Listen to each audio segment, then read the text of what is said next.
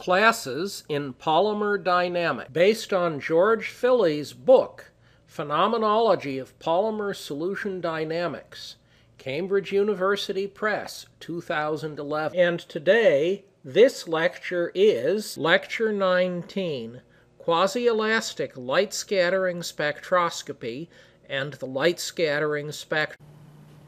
In any event, Today we are going to finish off our discussion of colloids. There's one little bit that's going to be postponed to later in the course. And we will take up our discussion of um, quasi-elastic light scattering from non-dilute polymer systems. Let me remind you of what we found when we discussed colloid systems.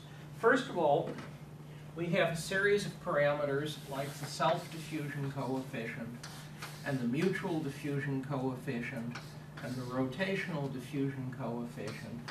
And each of these have some concentration dependence. The useful concentration being the volume fraction. The important point I want to make is that this constant is different for these three parameters, but in point of fact, if one does reasonable calculations, one can calculate what the slope is for all three parameters, and you get reasonable answers. The statement that you get reasonable answers um, tends to say that you understand what the forces are. You could, you could by accident get one of these right, but this parameter depends on the hydrodynamic interactions in, and also the direct interactions in very different ways for these three constants. And the fact that you can get all three of them more or less right tends to say that you really do have an understanding of how hydrodynamic interactions work in colloid systems. If you look at the light scattering spectrum of these systems, and this is actually true not only for the light scattering spectrum from a dilute monodisperse system, but also from a tracer system, you find that the spectrum is bimodal. That is, there's something that approximates being a fast decaying mode, and there's something that approximates a slow decaying mode. Now, what does light scattering spectroscopy do? It looks for fluctuations in the concentrations of part the particles. If the concentration were absolutely uniform, there would be no light scattering. You get light scattering because there are regions where momentarily, due to Brownian motion, there are fluctuations. And therefore, there are regions where momentarily the concentration is unusually large or unusually small. It is the fluctuations in the concentration of particles that lead to the scattering of light. And it is the relaxation of those fluctuations that leads to a scattering spectrum. Now the one thing that has to be remembered, we'll be doing this in more detail in a bit in this lecture, is that light scattering spectroscopy is driven by a single spatial Fourier component of the concentration of particles. And therefore, you aren't looking at here is a lump of particles, you are looking at here is a cosine wave fluctuation of some size. Now all of the cosine wave of all different wave vectors are fluctuating at the same time, but you only but the light scattering picks out one of them. The one it picks out is determined by the wavelength of the laser and by the scattering angle. And the, the picking out detail is the same as the first order Born approximation found in uh, scattering physics. So you say you have two modes, fast and slow, and there's an automatic and totally incorrect re response, which is to say that you're looking at particles moving over small distances and large distances. That's completely and totally wrong. The reason it's completely and totally wrong is that you are working at fixed q. The distance scale for particle motion to which you are sensitive is something like R is something like the inverse of Q. And so at all times you are looking at motion at the same distance scale. What you are saying is that on this distance scale, there are some fluctuations that are transient and don't last very long. And there are some fluctuations that are persistent. The particles have either packed up close together or have spread out and made a bubble in solution in which there's a low concentration of particles. And whatever they are doing, the slow mode corresponds to the persistent fluctuations, and the fast mode corresponds to the transient fluctuations. Now, if you actually do particle tracking from colloid systems, you can actually see somewhat what's going on, and what you see corresponds to what is going on in computer simulations. That is, you form some sort of dynamic structure in which the particles stay together for a long time and don't move very rapidly.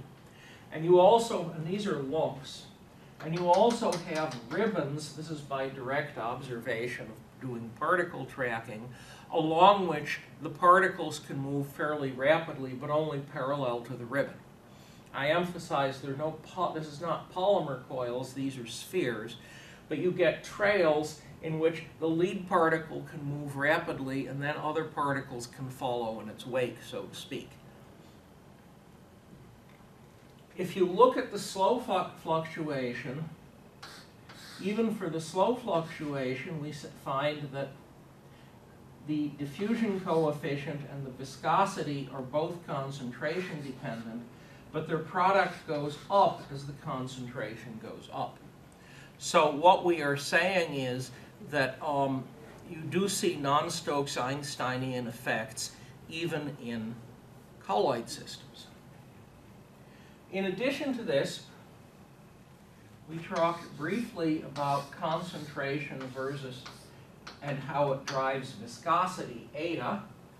And what we find is that at lower concentrations, there's a stretched exponential concentration dependence. There's then a crossover to a power law. The crossover is quite sharp. How sharp? Well, there are a few experiments where people managed to get an experimental point very close to here, and it appears to be right at the intersection of the two lines. This power region is a power law. This point occurs when the viscosity divided by the viscosity of the solvent is about 10 plus or minus 5, and the volume fraction is about 0.4 to 0.45. Different workers' data, the analysis showing this transition is mine. The, the data are in the literature, from the literature, find the transition at modestly different locations, and it's not quite clear why one might propose that this effect is very sensitive to short-range interactions between the colloids, and different samples give slightly different results. This point is very different from another point up here, which is at phi of about 0.49 and an eta over eta 0 of about 50. And that is the concentration at which, according to computer studies that are actually quite old, uh, you start to form a biphasic region in the system. And since you are forming a biphasic region, well, it's interesting to ask what happens at the edge of the biphasic region. Um, the statement that you're forming a biphasic region undoubtedly could use additional experimental and calculational work. Okay, so we have discussed this. The last point I want to make in summary, we will briefly talk about, in fair part, protein systems. The reason we talk about protein systems is that proteins are globular, they are highly monodisperse, and they are charged. Uh, why are proteins charged?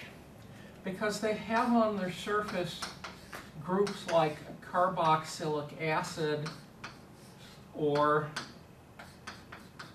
an amine. They're also secondary amines, that's a primary. And the carboxylic acid can ionize, and here comes a proton out into solution. And the protons can bind to the amine. At neutral pH, most of these things are charged up. If you go to very acid conditions, you can force protons down onto these. If you go to very basic conditions, you can strip the protons off of here. And if you plot the charge of a protein molecule versus the pH, you get a smooth curve. Of course, eventually the curve has to flatten out because everything is either ionized or not. The shape of that curve can be calculated with great precision using statistical mechanics and electrostatics. You can use nuclear magnetic resonance to track for an identifiable one of these groups, one at a time, whether the group is neutral or charged. And look, statistical mechanics works. You can calculate the charging curve for each group in a protein molecule if you know the structure. And you can do that with great precision. And so you can calculate this curve, which is quite smooth, um, and you can get charge versus pH.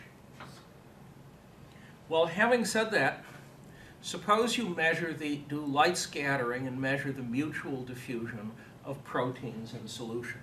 We have proteins in solution, and so we get concentration fluctuations, more here, less there, and the mutual diffusion coefficient describes the relaxation of the concentration gradient. Uh, what happens? Well, the forces between the protein molecules drive the relaxation, and there are direct interactions, for example, screened electrostatic. There are hydrodynamic interactions. As a particle moves, it sets up a wake, a fluid flow in the surrounding solution that drags the proteins along. You can actually calculate this. We talked about it for hard spheres.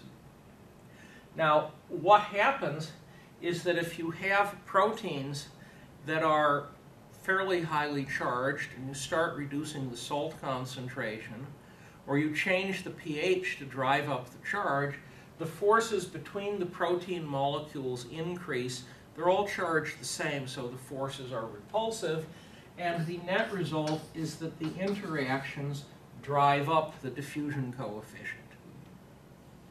And you can actually describe this in terms of something that you can refer to the osmotic pressure, a drag coefficient, which you can also calculate, and then, as I discussed last time, a reference frame correction, which refers to the fact that if the proteins are moving this way and fluid is incompressible, the simplest case, if the proteins are headed as indicated, some of the solvent gets pushed the other way, and this modest effect can actually be calculated. Having said we can do this calculation, um, there is an interesting bit here, namely there is an alternative form that is sometimes used to describe mutual diffusion of uh, macromolecules, which is a D is a KT over 6 pi eta psi. And psi is called the dynamic scaling length. This formula comes out of critical phenomena. If you have a mixture of two liquids that phase separate, and you change the temperature and the pressure enough, you can often arrange things so that there's a temperature and pressure beyond which the liquids are miscible in all proportions. Right at the point where the two liquids become miscible, there is what is known as a critical point. And at the critical point, the concentration fluctuations become very large. And at the same time, the concentration fluctuations become large. The diffusion slows down a great deal. And therefore, what one observes is the dynamic scaling length becomes long, the length over which particle motions are correlated becomes long, and in this system, correspondingly, diffusion slows down. Indeed, it slows down asymptotically as the critical point is approached. In these systems, precisely the opposite thing occurs. If you take the proteins and you charge them up or you reduce the salt concentration, their interactions are made stronger. Because the interactions are made stronger and longer ranged, as you do the things I just described, the distance over which particle motions are correlated increases. However, at the same time that this correlation length for dynamic motions increases, diffusion speeds up. It speeds up a great detail, deal. For example, there are nice experiments by Doherty and Benedek and they observed up to a threefold increase in the diffusion coefficient of bovine serum albumin in water as they did various things to change the pH and the salt concentration. Calculating that increase, doing the calculation for a charged system is not trivial. However, experimentally, phenomenologically, you make the interactions stronger they're repulsive interactions, and therefore the diffusion coefficient goes up. At the same time, the correlation length for interactions goes up also, and therefore this, this formula, which comes out of critical phenomena, is totally and completely wrong as applied to macromolecule diffusion. Mm-hmm. It gives completely a wrong physical impression of what is happening.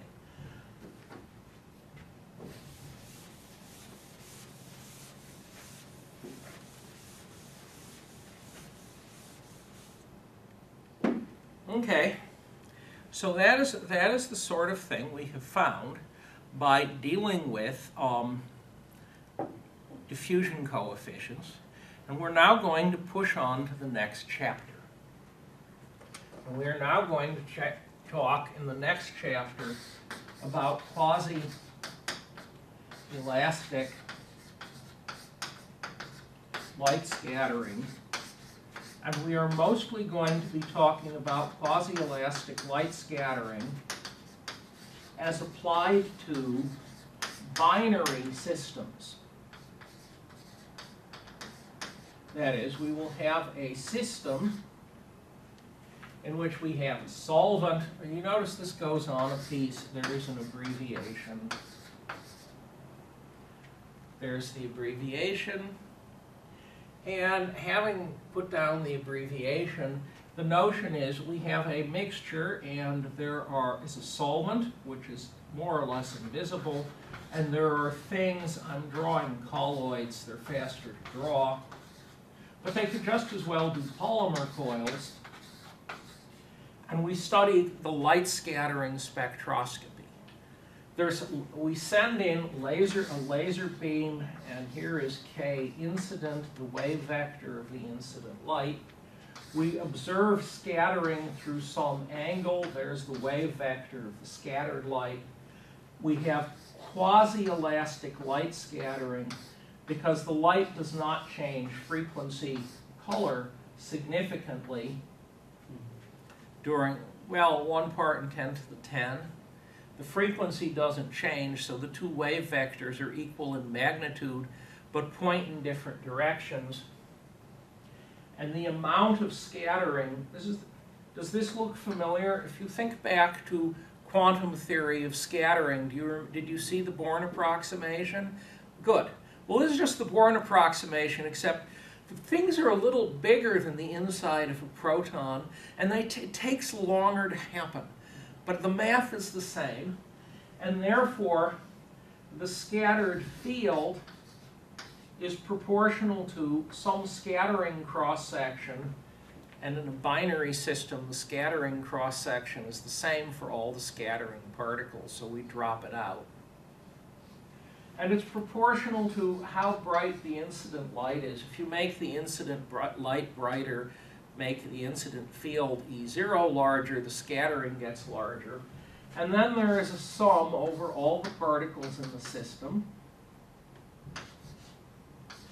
E to the i, square root of minus 1i, k scattered. What's k scattered, which is usually called k? It's k final minus k incident dot position of particle i at time t. The reason I put in the t is that that term includes interference between scattering from one particle and another. It includes uh, interference because the scattering volume in a typical experiment, you may have a focusing lens here, you have collecting optics here with some pinholes. There is a region in which you are collecting scattering, which might be, oh, 100 microns across, and is surely less than one millimeter long. The light, the visible light, you're using a laser. It has a coherence length of kilometers, typical experiment.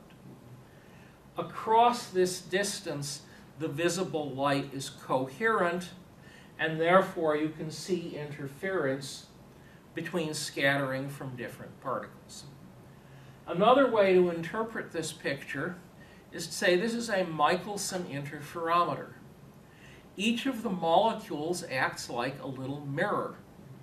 You have a very large number of teeny, teeny, tiny, tiny little mirrors in there, and the intensity of the scattered light is determined by the interference, amount of interference. As the particles move, the amount of interference changes, and so does the intensity of the scattered light.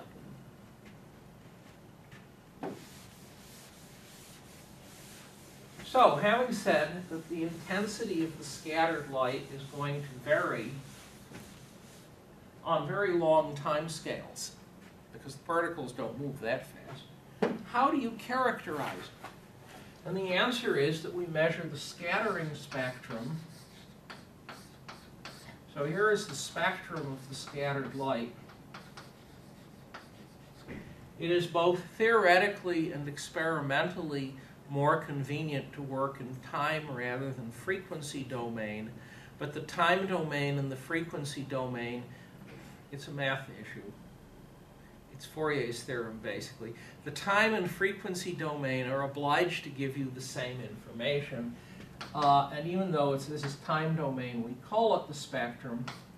We take the intensity of the scattered light scattered with 1 q, or k, at time t, and the intensity at some later t plus tau. We multiply these together, and we add up over a lot of separate times t. And we end up with something, I should be notationally consistent, in which, in the end, the scattering spectrum is only determined by the time separation between these two. For, well, okay, so we have the intensity. The intensity is proportional to the square of the field.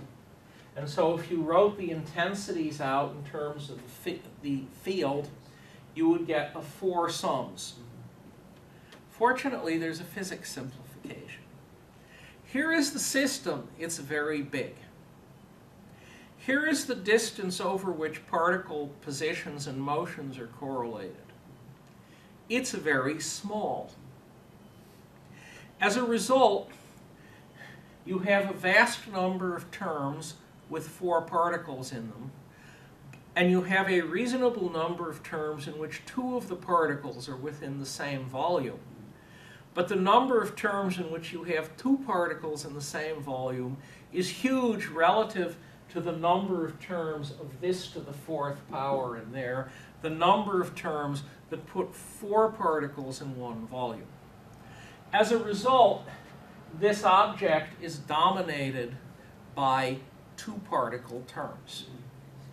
And we can write S of QT is equal to, well, there's a constant A, and there's something called G1 of Q. Um, Q and K are the two symbols for the scattering vector, and I will wander between them. Squared plus B. And G1 of QT is the dynamic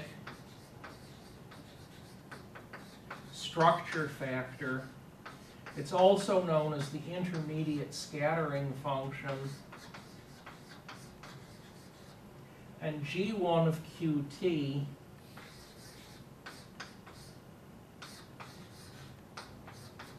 is equal to, what's it equal to? I'm going to do a sum over all of the particles in the system, all capital N of them. And I'm going to do a double sum because G1 of Q and T is a product of two of those.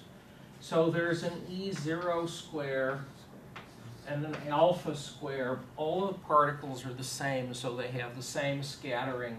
Alpha square is the scattering cross section. E to the I Q dot Rm at some time tau minus I Q dot Rn at some time tau plus T. And you're seeing interference between pairs of particles. Now you have to be a little careful because this sum includes m equals n terms, and in that case you're seeing one particle at one time and the same particle at a different time. But it also includes m not equal to n terms in which you're looking at one particle at one time and a different particle at a second time. So this is how G1 is related to particle positions. There are also here two constants, A and B. Uh, the constant A is a normalizing factor. If you go through the literature, you'll discover there are lots of people who are happy to quote normalizing factors. They're different.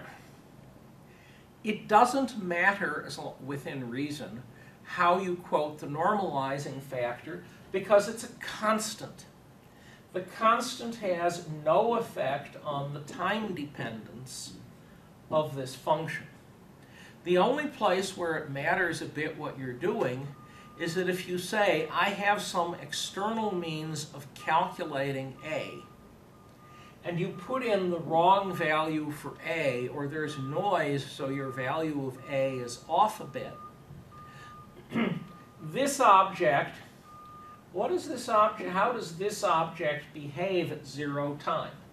At zero time, tau and t plus tau become equal, and there's some quantity that you reach at time zero. And if you put in the wrong normalizing constant a, there's some minor hazard of messing yourself up a bit. b is the long-term limit, how do you measure the long-term limit? Well, you have a device that actually calculates this coral. This thing, I've said spectrum, this is actually also a correlation function.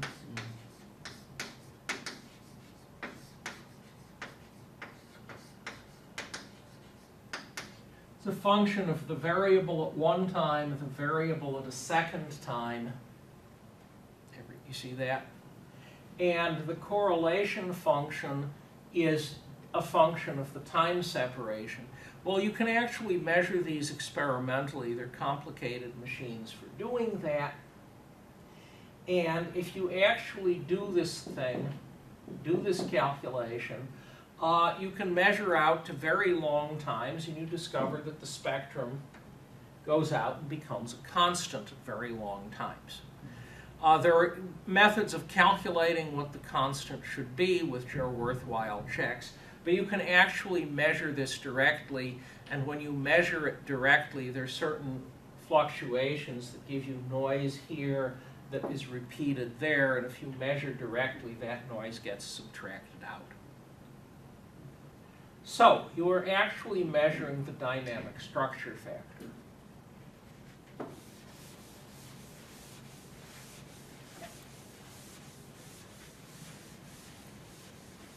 The dynamic structure factor can be split into two terms. So G1 of QT is equal to G1S of QT. This is the self part of the dynamic structure factor plus G1D, those are superscripts, same function of Q in time. And the other part is the distinct.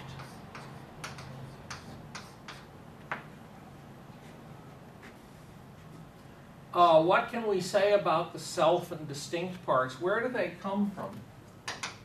They both come from this double sum. The self part are the terms in which m is equal to n. So you are looking at the same particle at two times.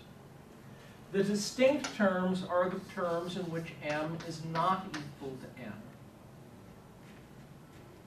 Now you might say, gee, there, aren't there going to be a whole pile more distinct terms than there are self terms? And the answer is, yeah, there are going to be a lot more distinct terms than there are self terms. However, however, in the self term, distinct terms, what has to be the case is the particles m and n have to start out or end up rather close to each other. And because if they aren't, their positions at the at, say the start time are uncorrelated. If they're halfway across the system from each other, the two the two positions are uncorrelated and the contribution to the distinct term averages to zero. Why? Well, if the two particles are out here, they could be out here, or they could be half a wavelength closer, and those two states are about are very nearly equally likely because they're way far apart. Particles are way far apart from each other. But while the particles are being way far apart from each other, um, the contributions to this object average to zero. We have a particle, and only the particle near neighbors contribute to the distinct part of the correlation function. Well, the number of near neighbors is very small, you know, 3, 12, whatever. And therefore, this term, the m not equal to n term, and the self term, the m equal to n term, are at least vaguely the same size. There is a specific exception. And the specific exception are tracer experiments. In tracer experiments, we have a background fluid, which could be a polymer solution, invisible polymers mixed with solvent, things we do not see, and dropped into there are dilute particles. The particles that are doing the scattering are almost always very far apart from each other. And because they're almost always very far apart from each other, the position of pairs of particles, pairs of scatters, are uncorrelated. And as a result, under tracer conditions, the self term is, gives us a essentially all of the contribution to G1, and the distinct term in which you're looking at correlations and positions of pairs of scatterers averages very nearly to zero. This is how tracer diffusion experiments get done with light scattering spectroscopy. So under tracer conditions, the distinct terms vanish. Well, having said the distinct terms vanish, you then ask, well, what information does G, do G1S and G1D give us about the system? I shall skip the math, but the core answer is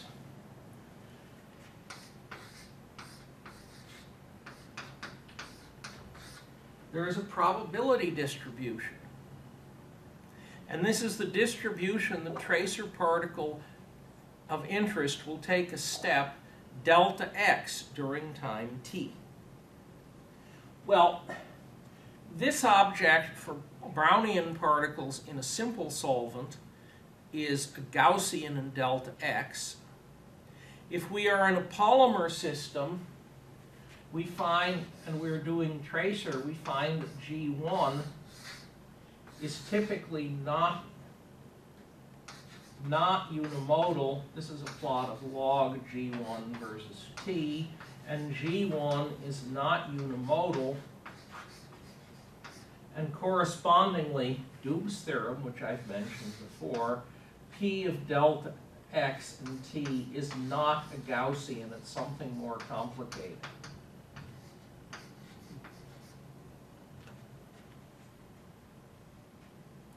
However, the self-distribution function, the self part of the dynamic structure factor, gives us the likelihood that a given particle will take a step delta x during time t.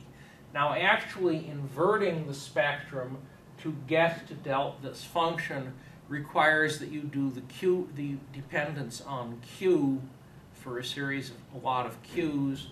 Uh, it requires that you have high precision measurements and what you can actually determine are the even moments, of the average over p of the even moments of delta x. The odd moments average to zero. That's a symmetry outcome. But you can measure the even moments, or at least some of them. And you can measure them by doing the q dependence at, a at any time you want. So you could actually get, an, get approximate information about this function. If the particles are not dilute, life becomes less pleasant.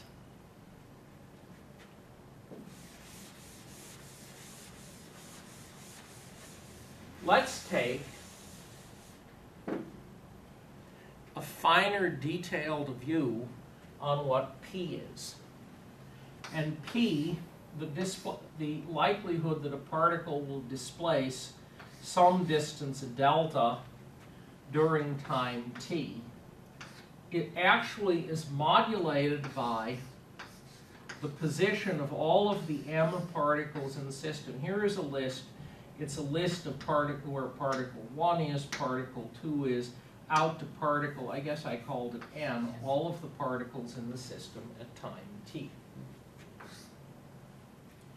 P of delta and t is equal to an average over all the starting positions. So there's, they're going to add up over all the starting positions of all of the particles.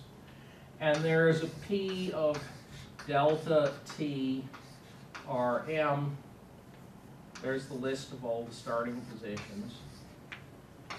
And there's an e to the minus beta potential energy minus a normalizing factor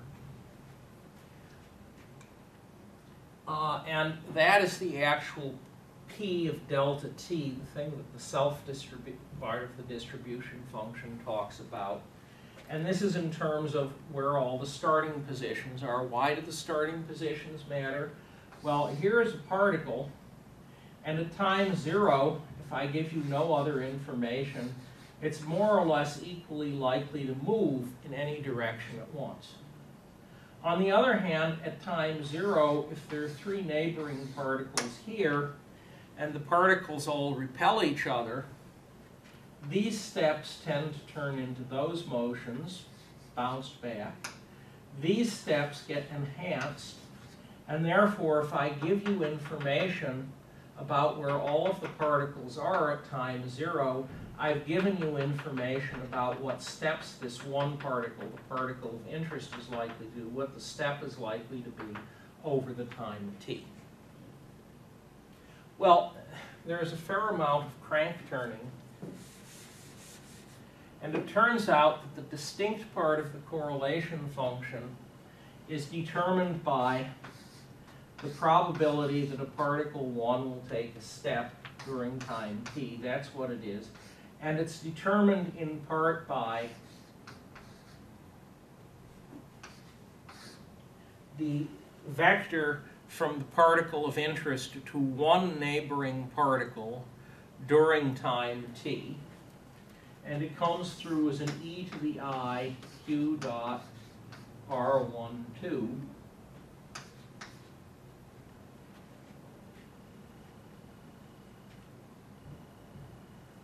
And then you average over where the last particle is. And this effect, this term, which comes out of the exponential in here, says that the probability of displacement during time t is due to a spatial Fourier transform of a complicated um, distribution function with respect to the position of one other variable. Now you might say, gee, could we make that term go away by going to small q? And the answer is that if you go to small q, if you really go to small q, the g's go from 1 or 0 and have not yet started to decay. You can look at the initial slope of g1 self and g1 distinct. You can look at the initial slopes of these two functions. That's the simplest time dependence to calculate. And if you do that, you discover that this object contributes substantially to how fast the relaxations take place. Okay, so that is a discussion of light scattering spectroscopy. And now we chug ahead and we're going to apply this to a polymer solution. And if we apply it to a polymer solution, there is a complication.